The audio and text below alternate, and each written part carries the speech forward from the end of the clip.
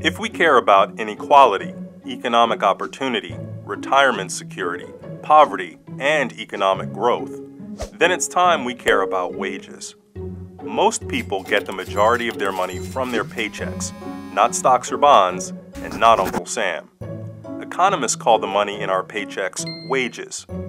For the 30 years right after World War II, as workers made more stuff and the economy grew, their wages grew right along with it. Our economy kept growing, but wage growth stalled in 1979.